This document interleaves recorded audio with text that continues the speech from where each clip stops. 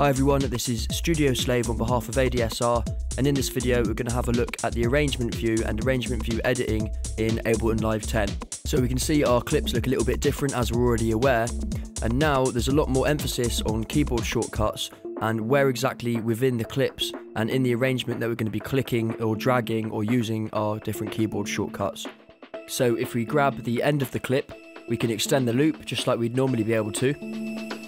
But what we can also now do is we can warp our audio in place within the actual arrangement. If we hold down the shift function and we look real closely, we can see that the icon is there changing and this now allows us to warp any audio in place.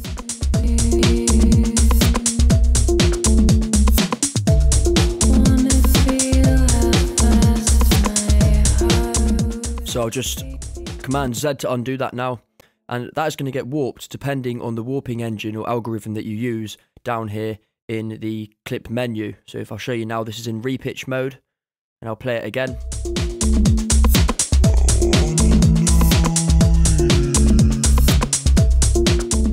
So I'll undo that again and you can hear the effect that has on the signal. So that's the first one, is the ability to shift warp by using the shift function.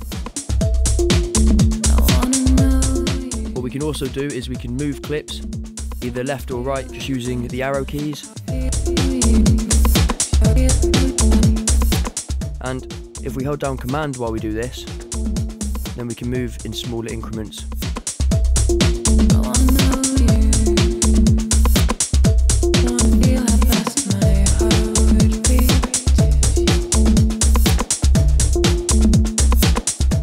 So we'll get that back to where it was.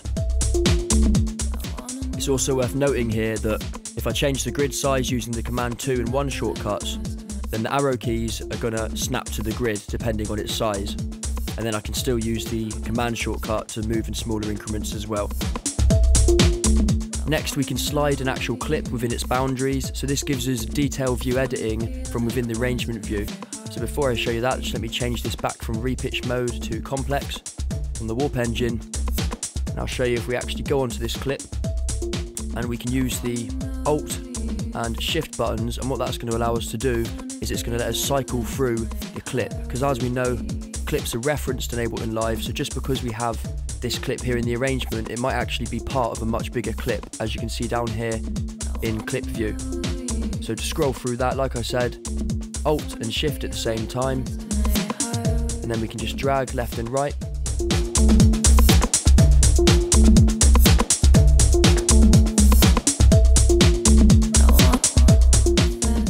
how it's cycling through. And once again it's doing it in increments. Go the other way.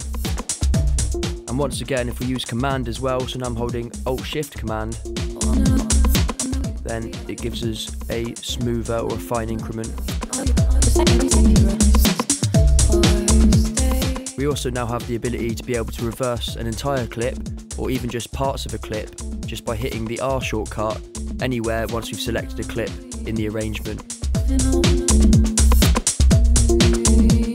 So I'll just demonstrate now the lower half of this clip. What we can do is we can select an area and then press R and it's just going to reverse that single section.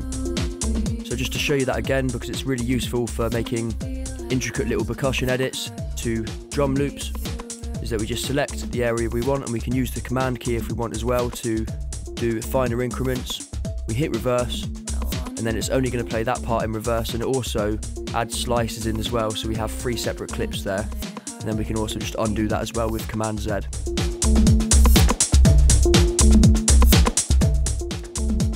So like I said there, we can move the clip using this top bar but we can also now move it using this upper part here. So everything on the upper half is for dragging and you can see we get the hand icon and when we go below and it turns into an arrow, this is for selecting. And then we've got our standard controls that we normally have if we were going to select audio. So what I could do is I can select some audio here, just this section, and I can move that elsewhere and it's only going to copy or cut that section.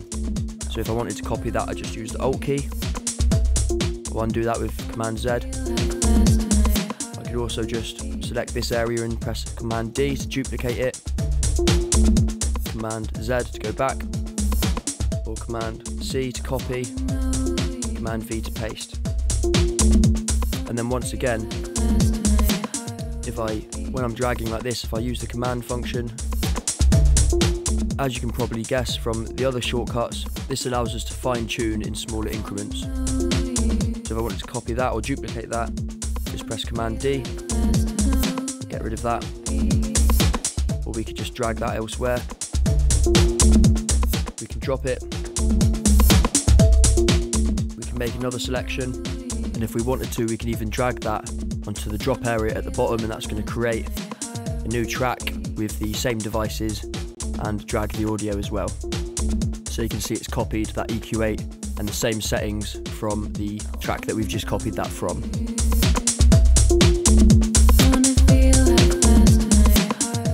Also have fades. So you can see as I hover over we get these four fades here so we can go and extend the loop if we want. We get our fade curve which can go up, down, forward and back. We can pull that all the way in.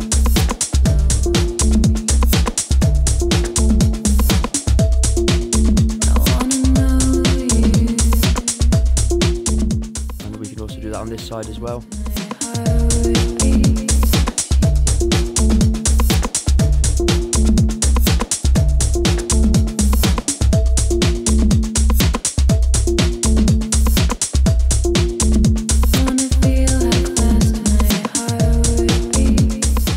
We can also activate and deactivate clips using the zero shortcut. And now this isn't done on a clip basis, it's actually done on a selection basis. You can see here, as I'm doing this, once again, what this is also doing is it's creating slices as well, as if we were using the Command E shortcut.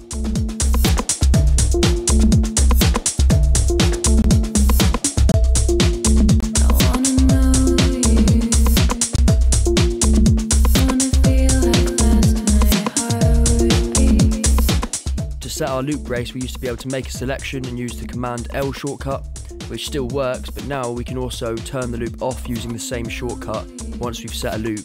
So effectively, the Command L shortcut is now a toggle, and it's going to toggle it on and off unless we make a selection somewhere else, and in that case, it's going to actually loop that new selection and then toggle that new selection until we make yet another selection. So the next change, which is really handy for anyone that does music theory or is trying to work on something like a long chord progression, or maybe they're working on a build up that has a white noise effect or anything that's got a long sustained note, things like strings and violins. So here I've got this Selena as an example. Then everyone's ran into the problem where the note isn't going to fire unless we get that note on on the MIDI note to play first. And if we're halfway through the middle of a sustained note, then it's not going to play. So just for an example, what I'll do is I'll extend these notes and we'll do a makeshift chord change. So we've got these three notes here and what we'll do is we're just going to unfold this. We'll duplicate these notes and we'll just push them up a couple of semitones and that's going to be our makeshift chord change or our white noise sweep or whatever it happens to be.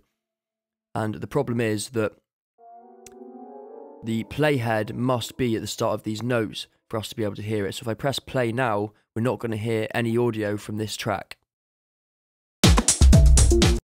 So for us to be able to hear the audio, like I said, it must be at the start of the note.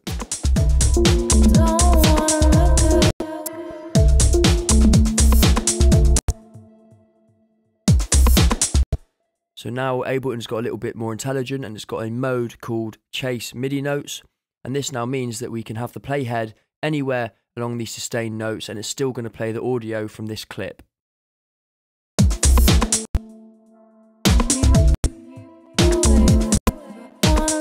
So it plays all the way through. The final two things we can do is we can import MIDI files and audio files directly onto these tracks from the file menu. And something worth noting here is that it doesn't work if you select a given area ready for a clip. You've got to actually just have the playhead, but no area selected or highlighted. So just to show you, it's actually grayed out at the moment. But if we click here, then we go to create, and then we go import MIDI file. And then likewise, if we go to an audio track, and we just click the playhead onto that track, we can go to file, create, import audio file. And then we can just import either audio or MIDI depending on which track we have selected. So what I'll do real quick, just to sort of demonstrate some of what we can do, let's go for, we'll go for this section here. So what we'll do is we'll loop it up and we'll just try and do a quick reverse reverb effect to show you how quickly we can edit this. So we're going to do it on this part here. So what I'm going to do is I'm going to select, I'm going to use the command just to get the bit I want, and then I'm going to drag that from here down into a new audio track and we'll go for about there. We can either drop this as it is and it will cut the audio, or we can hold the Alt key and it will copy the audio.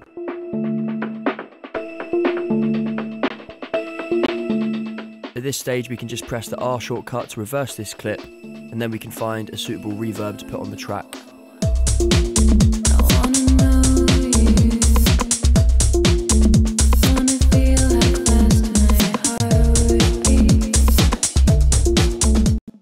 This on 100% dry wet.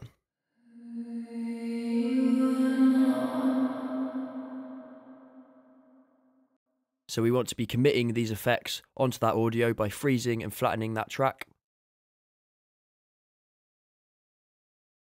And then we only want the very first part of this. So from about here, we want this, this part. So we can consolidate Command J. Now we can get rid of the clip that we don't need.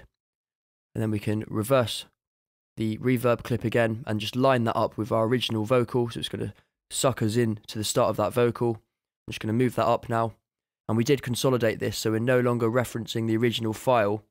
As you can see there, we've just got the first bit of the reverb, but we can still slide this around as we see fit and use the command shortcut to really line it up where we want it.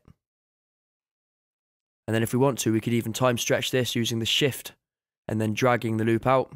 And that's going to time stretch depending on whatever warp engine we've set within clip view. The final thing I'm going to do is I'm just going to add a compressor to our reverse reverb signal and what I'm going to do is I'm going to set that, we'll go for a glue compressor. I'm going to set that to sidechain to our original vocal. And what that's going to do is it's going to make sure that as that peaks right at the very end of the reverb, is that it's going to get squashed down by the original vocal so we don't get a massive increase of gain for that very small overlap that we have there. So it's going to keep things nice and clean. So once I've set this sidechain compressor, I'm going to let this play out and then I'll see you in the next video where we're going to have a look at automation in Ableton Live 10.